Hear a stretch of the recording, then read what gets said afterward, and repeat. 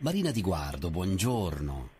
Buongiorno Livio, buongiorno a tutti gli ascoltatori, come state? Bentornata, si sta bene qui in questo posto a raccontare, condividere e condividere il nuovo romanzo, il nuovo thriller di Marina Di Guardo, romanzo pubblicato da Mondadori, Dress Code Rosso Sangue.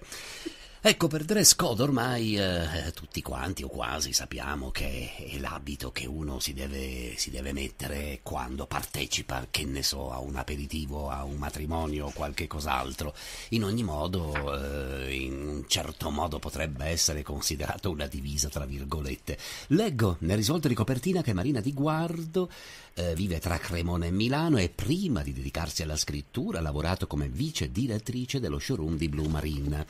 Ho letto questo perché penso che sia un dato molto importante, Marina Di Guardo, perché questo romanzo sicuramente è nato molto tempo fa, almeno come idee, come pretesti, come, come, come, indicazioni, come situazioni vissute, non certamente questa rosso sangue, ma in ogni modo qualche cosa nasce da quel tempo quando Marina di, di Guardo era impegnata in uno showroom di moda. E assolutamente come dici tu Livio, io ho lavorato in questo showroom di moda di Blue Marine per eh, tanto tanto tempo e è stata un'esperienza bellissima, un'esperienza molto formativa che mi ha eh, regalato tante suggestioni, eh, tante conferme e anche tanti insegnamenti perché eh, era un luogo davvero pieno di stimoli, pieno di, di di interessi e io mi occupavo del settore vendite, ovviamente non ai privati ma alle persone appunto che avevano boutique in tutta Italia e ai buyer che portavano gli addetti delle, degli acquisti eh, di tutti i store più importanti di, del mondo. E quindi avevo a che fare con una serie molto eterogenea di, di persone ed è stato veramente interessante conoscere così tanta gente con eh, abitudini, eh, gusti differenti ed è stata anche una palestra importante per eh, formare una certa empatia, per capire immediatamente che mi trovassi davanti e capire quello che veniva da acquistare nel nostro, nel nostro showroom. Avevamo una struttura con diverse stanze in cui eh, era divisa la collezione, poi facevamo una sfilata per appunto, mostrare ai clienti nel, eh, i nuovi look e, mh, ed era più o meno quello che un po' ho raccontato nel mio romanzo. E Cecilia è una, una ragazza che inizia da, da così, dai compiti più facili, più umili, come portare caffè, il tè ai vari clienti che venivano a fare questi ordini, ma poi pian piano brucia le tappe e arriva a essere, eh, poi come vedremo, eh, una figura di ruolo, di spicco dentro questo showroom. Quindi sicuramente ho attinto moltissimo dalla mia esperienza, ma anche mi sono fatta consigliare da persone, mi sono fatta dare dei, delle suggestioni da persone che ci vivono attualmente nel mondo della moda, perché questa storia è praticamente ehm, raccontata nel mondo contemporaneo. Quindi ecco, mi sono rifatta ai ricordi, ma anche a quello che succede adesso. Anche a quello che succede adesso e quello che succede in questo romanzo, Marina Di Guardo ha già citato eh, Cecilia Carboni, che è colei eh, attorno al quale gira grande parte di questa storia, ma e lei eh, spera in un futuro è come dar torto a Cecilia Carboni non sperare nel futuro per la sua bravura, per la sua capacità. E un giorno però succede qualche cosa, come nei romanzi, come in tutte le vite di ognuno. Certo nei romanzi forse un pochino più eh, esasperato, ma perché è condensato in una storia in, in, in, in 300 pagine eh, come in questo romanzo. Ma andiamo a conoscere Marina di Guardo Franco Sartori. Franco Sartori, per chi non lo conoscesse, lo ricordiamo, è uno degli stilisti più celebri al mondo, ovviamente in questa finzione. Certo, ho usato un nome di fantasia,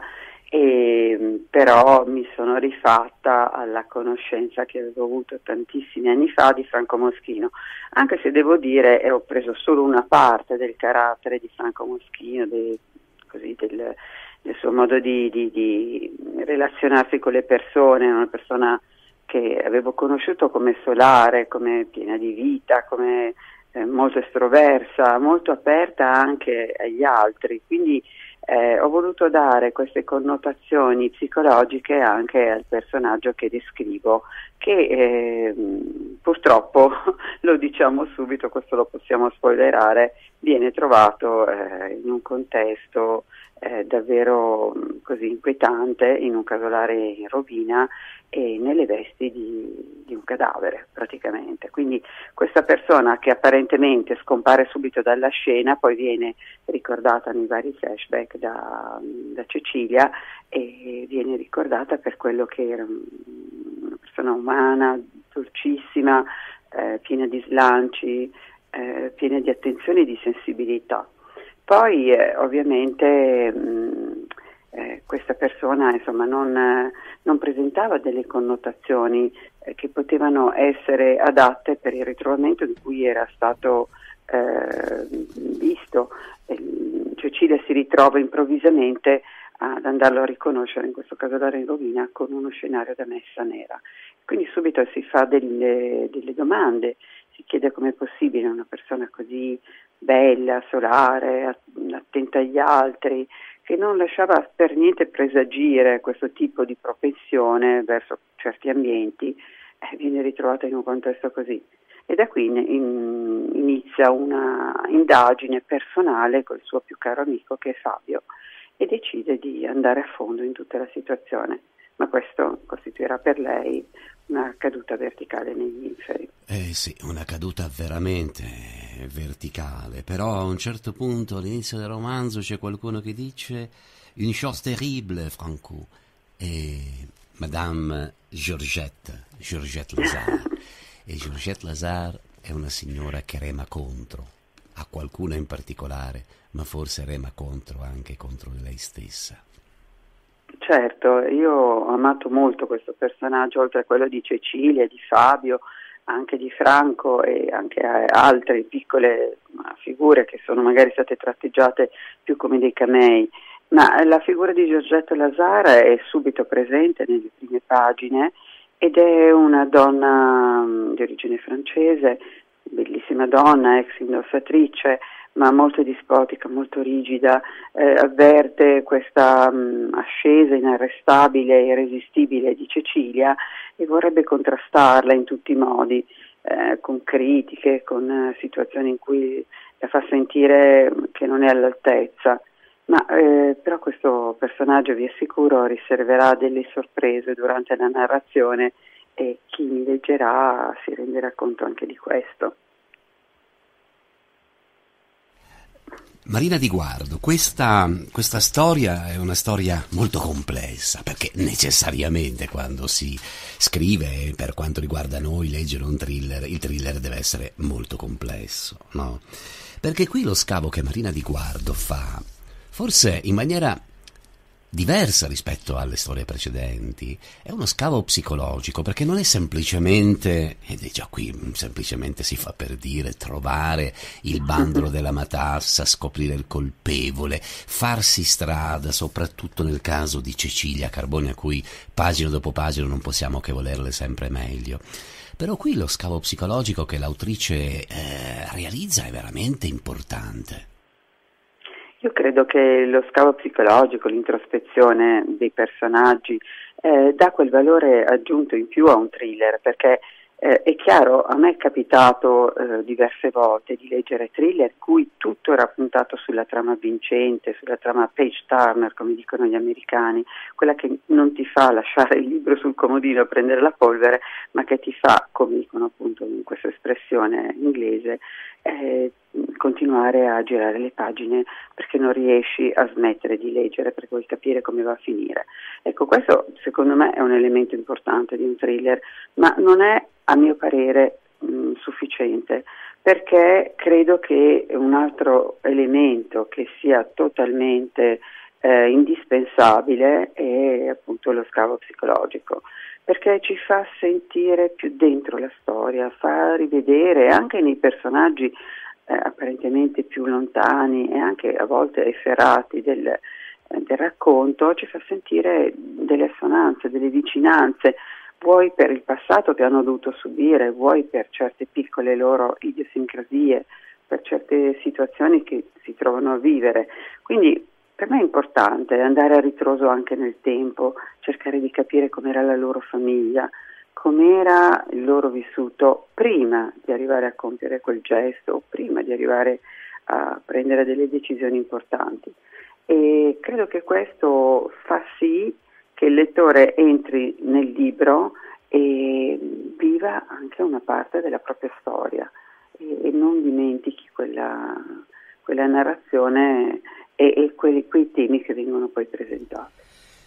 Prima di chiudere questa conversazione con Marina Di Guardo, io vorrei, seppur brevemente, ricordare Sergio Altieri, che con molto piacere lo ricordiamo con tanto certo. affetto e che Marina Di Guardo ha citato nei ringraziamenti.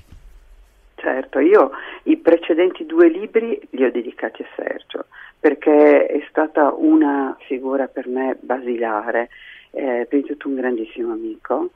che stimavo moltissimo, una persona di un'intelligenza, eh, visionario, eh, capace di, di, anticipare davvero tanti elementi della scrittura moderna. Era un, appunto uno scrittore bravissimo, era uno sceneggiatore di fama mondiale, era un traduttore eh, incredibile. A lui si deve la traduzione del Trono di Spade, ad esempio ma era soprattutto una persona di una grande umanità, di una grande disponibilità e mi ha veramente aiutato tantissimo. Quando mh, ero indecisa su, su, che tipo di racconto volevo continuare, io avevo già scritto due, rima- due romanzi che erano due drammi relazionali, ma quando ho avuto l'occasione stupenda di poterlo conoscere, perché l'ho presentato a Cremona e, e in occasione dell'uscita del suo penultimo libro. Io ho allungato il mio manoscritto, il mio secondo manoscritto che avevo già comunque dato eh, alla casa edit- piccola casa editrice con cui ho, ho pubblicato i miei primi due romanzi e sapendo già che era semplicemente per avere un parere. A lui è piaciuto moltissimo e soprattutto è piaciuto moltissimo un finale noir inaspettato in un dramma relazionale che l'ha convinto in maniera decisamente forte. E mi ha incoraggiato a proseguire su questo filone noir thriller.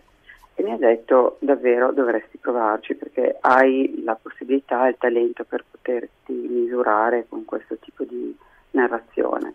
Quindi ho seguito il suo consiglio e mi sono avvalsa anche di, tanti altri suoi consigli, tanti altri suoi suggerimenti, osservazioni mi ricordo i suoi editing a Bambole Gemelle, che è stato il mio terzo libro, che poi è stato pubblicato con Feltrinelli, è stato essenziale davvero e mi ha insegnato più di mille scuole di scrittura. Quindi devo a lui tantissimo e non mi dimenticherò mai di nominarlo.